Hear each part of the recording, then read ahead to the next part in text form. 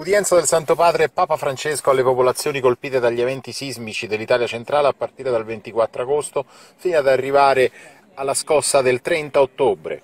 A guidare le circa mille persone della diocesi l'arcivescovo di Spoleto Norcia, Monsignor Boccardo, che ha affidato a Don Luciano Venati, parroco di Santo Tizio, di portare il saluto al Santo Padre. Qui ci sentiamo a casa nostra, la ringraziamo per l'attenzione costantemente e concretamente dimostrataci, dice Don Luciano. Non abbiamo più una chiesa, non abbiamo più le case, ma questo Natale l'abbiamo passato recuperandone il vero spirito. Andarcene dalla nostra terra, prosegue, avrebbe significato ferirla ulteriormente. Siamo rimasti e da qui ricostruiremo. Ci benedica, Santità, affinché in noi possa esserci una nuova fioritura. Papa Bergoglio ascoltato attentamente, ha preso e fatto sue le parole che vi escono dal cuore. In queste situazioni, continua Papa Francesco, bisogna lasciare spazio alla speranza. Seppur perdendo tante cose, siamo comunque diventati una grande famiglia, andremo avanti insieme e ricostruiremo le case, le chiese e il tessuto sociale. Al termine dell'udienza il Papa ha stretto mani e salutato idealmente tutti i presenti. Chissà che dopo l'udienza di oggi questo non sia il preludio di una prossima futura visita in Umbria, magari per verificare lo stato dell'arte di quel tessuto sociale da ricostruire.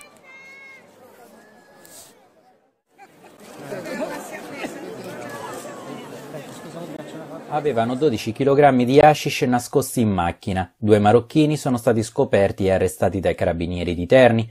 Ieri sera, intorno alle 20, un equipaggio dell'aliquota radiomobile, impegnato in un posto di controllo all'interno di un distributore lungo il raccordo Terni-Orte, ha fermato un'autovettura di grossa cilindrata con a bordo due nordafricani. Ad insospettire i militari il comportamento del guidatore, che alla vista dell'auto di servizio ha provato a rientrare nel rato.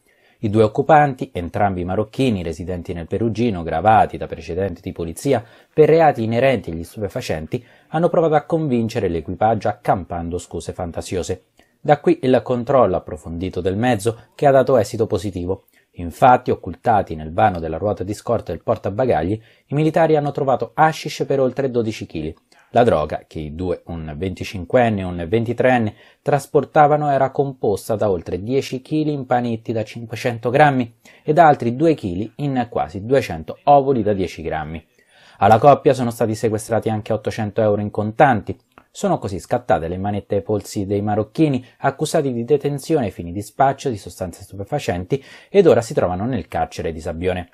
Nel corso della conferenza stampa, alla quale ha preso parte anche il comandante provinciale Giovanni Capasso, è stato detto che verranno svolti ulteriori accertamenti sia per definire la qualità dello stupefacente, che ha comunque un valore di mercato al dettaglio di circa 120.000 euro, che la destinazione dello stesso. I passeggeri transitati nel 2016 presso l'aeroporto internazionale dell'Umbria, Perugia San Francesco d'Assisi, sono stati 221.941, con una contrazione del meno 19% rispetto al traffico del 2015, 274.028 passeggeri. Il dato pur negativo, rappresenta in ogni caso un netto miglioramento rispetto alle iniziali pessimistiche previsioni che, tenuto conto delle cancellazioni e riduzioni annunciate da Ryanair e dall'Italia, facevano temere una potenziale riduzione del 30-35%, ovvero circa 90.000 passeggeri. Grazie invece ad un secondo semestre che ha visto l'attivazione di nuove rotte, molto positivo in particolare l'impatto del nuovo collegamento annuale Perugia-Catania, e al miglioramento delle medie delle tratte già operative si è registrato un buon recupero che consente allo scalo di registrare il secondo miglior risultato della sua storia, superando i 215.550 passeggeri raggiunti nel 2013, per quanto riguarda il traffico di aviazione generale ed executive, il traffico è rimasto sostanzialmente stabile, con circa 3.600 passeggeri transitati. La stima di traffico per il 2017, considerando solo i collegamenti ad oggi sia schedulati, è di circa 245.000 passeggeri. In ogni caso, continuano i rapporti con operatori già attivi sullo scalo o nuovi vettori per la riattivazione dei collegamenti sospesi o l'attivazione di nuove rotte, sia charter che di linea. Al via oggi i saldi invernali anche in Umbria. Secondo le stime dell'ufficio studi di Confcommercio, ogni famiglia spenderà 344 euro per l'acquisto di capi d'abbigliamento, calzature, pelletterie, accessori ed articoli sportivi. Numeri alla mano gli umbri spenderanno mediamente come nell'anno precedente. L'Umbria, commenta Carlo Petrini, presidente Federmoda Confcommercio Umbria, è tra le regioni che più di altre hanno subito gli effetti di quella mancanza di stabilità che gela i consumi e di cui tutti hanno bisogno per affrontare con fiducia il futuro. I saldi iniziati oggi dureranno 60 giorni e termineranno il 5 marzo. Va ricordato che la possibilità di cambiare il capo dopo che lo si è acquistato è generalmente lasciata alla discrezionalità del negoziante, a meno che il prodotto non sia danneggiato o non conforme. In questo caso scatta l'obbligo per il negoziante della riparazione o della sostituzione del capo e nel caso ciò risulti impossibile la riduzione o la restituzione del prezzo pagato. Il compratore è però tenuto a denunciare il vizio del capo entro due mesi dalla data della scoperta del difetto. Infine non c'è l'obbligo di far provare i capi, opportunità questa rimessa alla discrezionalità del negoziante. Nei primi tre mesi di attività l'Emporio Bimbi ha fatto registrare numeri interessanti.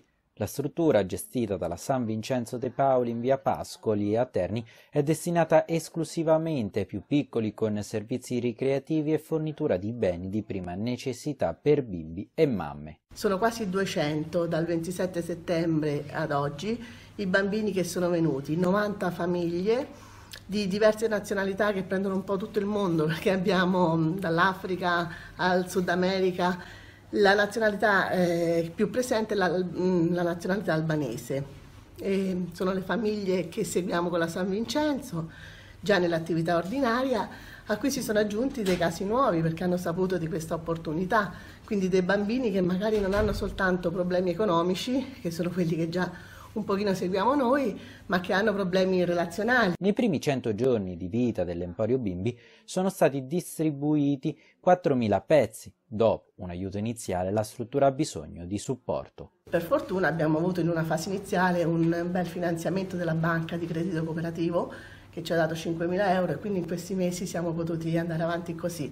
Adesso ci troviamo in una situazione di un po' di difficoltà perché ovviamente eh, l'attività ha preso molto piede, c'è sempre più richiesta e c'è sempre più bisogno quindi di, di mezzi finanziari anche per poterla portare avanti e stiamo finendo un po' i nostri mezzi, quindi speriamo che qualche altra persona di buona volontà, eh, come già abbiamo comunque avuto modo di sperimentare, si possa affacciare anche in questo nuovo anno.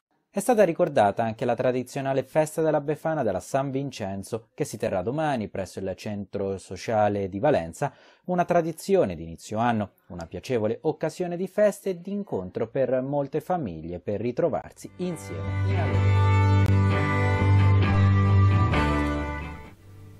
Da mercoledì 11 a venerdì 13 gennaio alle 21, Michele Riondino porta in scena al Teatro Morlacchi di Perugia il suo nuovo spettacolo Angelicamente Anarchici, accompagnato dalle musiche eseguite dal vivo da Francesco Formi, Ilaria Graziano e Remigio Furlanut. Riondino dà voce a Don Andrea Gallo e racconta il suo quinto Vangelo, quello secondo Fabrizio De André i miei Vangeli sono cinque, Matteo, Marco, Luca, Giovanni e Fabrizio. È la mia buona novella laica, scandalizza i benpensanti, ma è l'eco delle parole dell'uomo di Nazareth che, ne sono certo, affascinò il mio amico Fabrizio. Quella tra Don Gallo ed André è stata un'amicizia intima e fortissima. Ad unire profondamente il poeta e il sacerdote anarchico sono stati il desiderio di giustizia, la cultura libertaria e soprattutto la concezione della vita come cammino e incontro prescindendo da qualsiasi pregiudizio. Per comporre il suo Vangelo laico, Don Andrea Gallo ha scelto alcune delle più belle canzoni di De André, nelle quali ha rintracciato il nucleo del messaggio evangelico, che è un messaggio penetrante ed universale. C'è la coscienza civile, la comprensione umana, la guerra all'ipocrisia e il desiderio di riscatto della condizione umana emarginata perché dai diamanti non nasce niente, dall'etame nascono i fiori senza passare per il via. Io con l'utopia, dunque, che sta all'orizzonte. Oh, ma fatto chiude occhio! Paolo Triestino, Nicola Pistoia ed Elisabetta De Vito sono i tre comici protagonisti di Ben Hur, una storia di ordinaria periferia. L'opera sarà in scena mercoledì 11 gennaio alle 21 al Teatro dell'Accademia di Tuoro sul Trasimeno. Lo spettacolo affronta i temi scottanti dell'immigrazione e del razzismo, in un modo nuovo e con ironia. Il testo di Gianni Clementi riesce a rappresentare argomenti di grande attualità con disarmante semplicità. Fa scaturire nel pubblico momenti di profonda riflessione, ma anche di grande ilarità. Sergio, il regista Nicola Pistoia, è uno stuntman caduto in disgrazia dopo un avvio di carriera eccellente. Ha lavorato con Spielberg nel film Salvate il soldato Ryan. Un incidente sul set gli renderà impossibile continuare a lavorare, costringendolo a un'eterna attesa di un risarcimento. Risarcimento che tarda ad arrivare. Così, per sbarcare il lunario, si arrangia a posare vestito da centurione per i turisti che arrivano al Colosseo di Roma. Sua sorella Maria, Elisabetta De Vito, è separata e per arrotondare è costretta a lavorare in una chat erotica al telefono. A interrompere la monotonia arriva Milan, Paolo Triestino, ingegnere della Bielorussia, che ha tanta voglia di lavorare. Per mandare soldi alla famiglia, Milan si arrangia a far di tutto, anche a sostituire Sergio nel suo ruolo di centurione.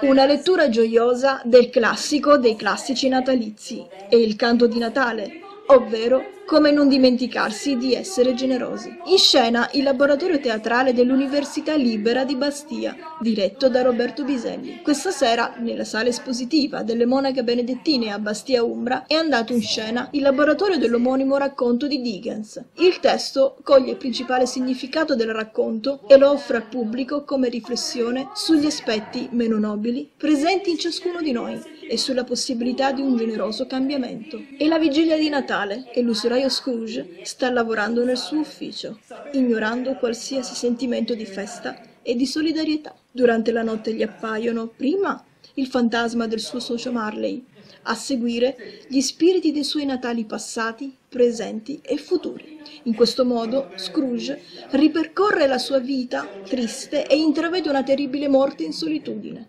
Questo doloroso viaggio lo aiuta a trovare la forza per esprimere le sue buone qualità, caratteristiche che fino ad allora aveva soffocato con il miraggio dell'oro. Gli allievi di Roberto Biselli si sono dimostrati all'altezza dell'opera, sapientemente diretti dal loro maestro e regista. Hanno gestito la lettura in maniera colorata e vivace, identificandosi di volta in volta nei vari personaggi. All'evento era presente anche l'assessore alla cultura Claudia Lucia.